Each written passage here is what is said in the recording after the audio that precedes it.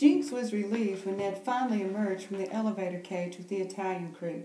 He walked his bike over to join Ned in line at the water pump. Ned removed his miner's hat, revealing his sweaty hair and white forehead against his otherwise soot blackened face. He eyed the two men arguing. What are they going at it about? Something about the direction of the vein, Jinx answered. Seems the coal vein took a turn it shouldn't have, and now it's going the wrong way. I think the geologist is about to get the boot. Oh, well, Ned said. Let 'em argue. Where'd you get that contraption? he asked, motioning towards the bicycle. Shady won it last night's poker game. Want to take it for a spin? Can't. Ned pumped fresh water and washed his face and hands. My legs are aching to be stretched after being cooped up for eight hours. I might just run from here to Erie and back. Several other miners stood around waiting for their weekly pay. Benedito, you're working too much, Mr. Borrelli said, using his Italian nickname for Ned. Study, learn. You go to college. Yes, sir. I hope to go on a track scholarship next year. Good, good. He patted Ned on the back. You run hard and study harder. You'll not have to go to work underground to feed your family. Man was not meant to spend his days in the dark, eh, Venezia? Mr. Venezia wiped his face with a handkerchief. Si, si, un inferno ego, he answered. Si, si, it is a hot one today, Mr. Borelli answered. He patted Mr. Venezia along and then whispered to Ned and Jinx. He speaks no English. These mines, they keep us in the dark in more ways than one. Just then, Lester Burton, the pit boss, stepped among them and nailed a notice to a post near the water pump. The letters were big and bold enough to be read from several feet away. By way of public notice, American Defense Society warning. Every German or Austrian in the United States, unless known by years of association to be absolutely loyal, should be treated as a potential spy. Be on the alert. Keep your eyes and ears open. Take nothing for granted. Energy and alertness may save the life of your son, your husband, or your brother. The enemy is engaged in making war in this country, transmitting news to Berlin and spreading propaganda and lies about the condition and morale of the American military forces. Wherever any suspicious act or disloyal word comes to your notice, communicate at once with Fred Robertson, U.S. United States District Attorney, Kansas City, Kansas, or the American Defense Society, 44 East 23rd Street, New York City. Burton turned in the sun-splotched face to the men.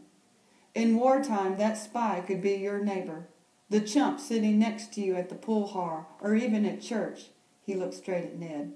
Could be anyone of unknown or, un- or questionable background. Be alert and trust no one. Got it? There was a stir among the crowd, mostly men asking for a translation from the few who could speak English. Good. Burton fanned a stack of envelopes. Borelli, he called out. Servito, Vincencia. One by one, the men took their pay and drifted away like shadows. Gillen. Ned stepped forward to receive the last envelope. Burton held out the envelope only to pull it back as Ned reached for it. So, you plan to go to college, eh? That's right. Looks like studying's going to be a tight squeeze working double shifts. Sir? That's right, there's been a bit of a mix up. We need to dig out a new room, and Weintraub's out with a broken leg. You'll go in for him. But I just worked a full shift. Strong kid like you shouldn't be a problem. I suppose we could call in your old man. I recall seeing an unpaid balance at the Hadley Gillen account on the Devlin Mercantile. He might want some extra work in case a payment in full notice comes due. Think about it. Burton handed Ned his pay envelope and walked off. That's not fair, Jinx said. There's lots of folks who could fill in for Weintraub. Why does he want you so bad? I've beaten Devlin's son too many times at track meets. So what? His son has everything else going for him money, privilege, family name. Yeah, and that kind of person doesn't like to get beat by a person of questionable background. Ned's voice shook with emotion. Forget about him, Jinx said. Let's go down to the fairgrounds later on. I hear there's a fella selling all kinds of fireworks. Selling, Ned said, opening his envelope. As in money of which you have none? He stared at the contents in disgust. And I guess neither do I. They work us like pack mules for 78 cents a ton of coal and then pay us in vouchers for the company store. It's no wonder we can't, we can't get out from under their thumb. He crumbled up the envelope. So unless they're selling fireworks at the Devlin Mercantile, we're out of luck. I didn't say we were going to buy any. We're just going to look. Once we see what goes in one, we can make our own. We'll have fellows all over Crawford County buying our fireworks. Not in the mood. Come on, where's your spirit of adventure? Ned slowly buckled his belt and pick around his waist. It's buried a hundred and fifty feet underground. Maybe I'll start working triple shifts. Then I can buy a piece of that coal vein and somebody might have a little leverage against Devlin. Suit yourself. But I did see Pearl Ann Larkin trying on a fetching hat at the millinery store today. Big pink thing with feathers. She waved at me through the window.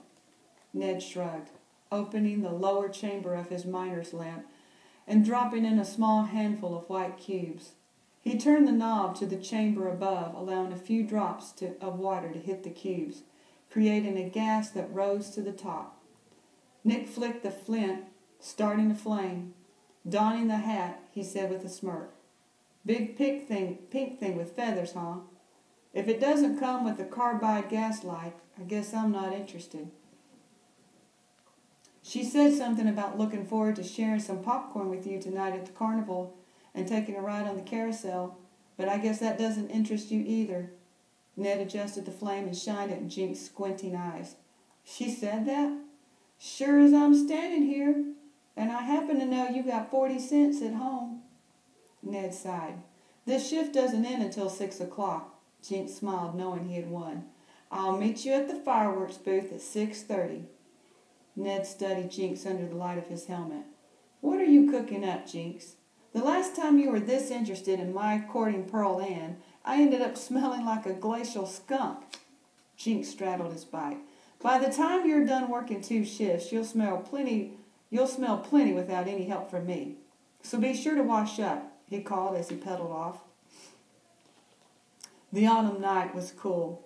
Henson's Field just outside of town was aglow with hanging lanterns strung from one booth to the next. The county fair was a welcome time for all. Farmers had finished harvesting their soybeans, milo, and alfalfa and had planted their winter heat. The kids had a break from school. Folks from neighboring towns stopped in to sample a variety of foods. The Italians baked everything from cannoli to ziti. The Swedes served up braided bread and hard-packed pretzels, while the Germans and Austrians touted their strudels and mm, Burroughs. Jinx spotted Ned and handed him a calzone. Compliments of Mama Satoni. She said you had to work two shifts. Grazie, Ned called to the large woman, his mouth already full of bread and cheese. Eat to eat, she insisted, her arms deep in dough. Come back. I have enough biscuits baking. I keep them warm for you, yes? We'll be back, Jinx said, leading Ned away by the elbow. A few booths over, a placard read Jasper Hinckley, Pyrotech. The exuberant Mr. Hinckley worked a crowd of young boys who apparently had plenty of money to spend. There you go, lads. And remember, be careful with fire. Once you've started, fire works. The boys ran off, leaving Mr. Hinckley to laugh alone. He smoothed the handlebar mustache covering his upper lip. Just a little pyrotech humor, gentlemen. What can I do for you today? See here, you've got your Shanghai, Shanghai uh, sizzlers, sparkling Marys, Chinese color changers. Jinx picked up a red cylinder behind the rest. What's this one? Easy there, son. Mr. Hinckley took it from Jinx and gently replaced it with several matching red cylinders. That little fellow's not for sale. He's a Manchuri fire thrower. They're ones that shoot upwards of 300 feet in the air and explode in two different colors. Jinx hooked his thumbs in his pocket. What do you take us for, Mister? A couple of schoolboys? You expect us to believe that these here cans shoot up in the air and explode in color? Mr. Hinckley looked bewildered. That's exactly what I'm telling you. Haven't you ever seen fireworks, boy? Jinx stuck out his bottom lip and spoke with a fiend country bumpkin accent. Well, mister, we may look stupid, but that's as far as it goes. I bet there's nothing more there in them beans in them cans. Mr. Hinckley took a medium-sized canister and cranked off the lid. You see that there powder? That's pure TNT. Mix that with a little potassium nitrate, sulfur, and charcoal, and you got the beginnings of a first-class shell. Jinx looked sideways at Nell. Sounds like quite a recipe. But even if you can get it off the ground, and I'm not saying I believe you can, how are you going to get it explode into the air? Now that's the trick. Mr. Hinckley gently reached into the canister and exposed a thin fuse. This little fellow, he starts burning when the shell goes up. When he's all used up, kapow! You got yourself a mighty fine pyrotech display. That's fireworks in layman's terms. He put the lid back on the canister. Course, you got to be a bona fide pyrotech to handle these little darlings. I apprenticed with a full-fledged Chinaman up in Omaha. Jinx nodded and crossed his arms. Well, you do seem to know your trade. Fine. Now, which one of these quality specimens would you be interested in? Keeping in mind I don't sell the Manchurian fire throwers, those are only for official pyrotech displays. Jinx looked over his shoulder. Uh-oh. Isn't that Mama Satoni calling Ned? Ned took his cue. Oh, yeah. She's keeping those biscuits warm for us in the oven. Sorry, Mr. Hinckley, if we don't hurry up, those biscuits are going to turn into firecrackers. Just a little humor from one pyrotech to another, Jinx called as he and Ned walked off. Mr. Hinckley smothered his mustache as a new group of boys crowded around the stand. Jinx and Ned wandered past the few booths of carnival games where vendors tried to attract the attentions of passerbys. Step right up, toss three balls in a hole and win a prize, or try your luck in the shell game. Win a Liberty Head silver dollar. So much for your big con, Jinx, Ned teased. A con is merely the art of distraction, Jinx studied the booths. Come here. Jinx grabbed Ned by the elbow and led him to the shell game.